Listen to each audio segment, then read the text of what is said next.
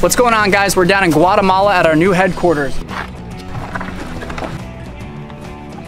These are some of our boom systems. Uh, we, have been testing all types of different boom systems. Uh, we've been trying out some smaller, uh, more light application boom systems for smaller river mouths that are you know in the mangroves in these different areas. Then we've got our medium duty, which are, are these systems here uh, that come in 50 or 100 foot increments. Um, and they actually shackle together.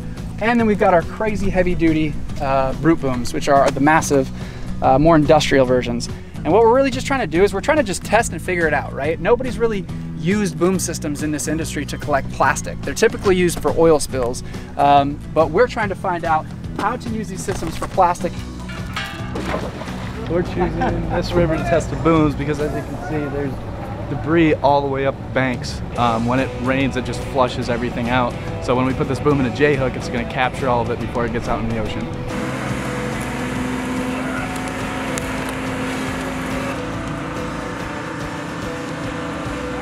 We could swim fish in this river a long time ago. I'm talking about like 20, 25 years. Now, we are really concerned about the environment.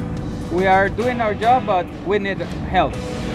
We're gonna wait for all the downpour and all the rain and all that plastic can be coming down the canal and it's gonna be getting caught in our boom system and will effectively stop the ocean plastic before it has a chance to reach offshore.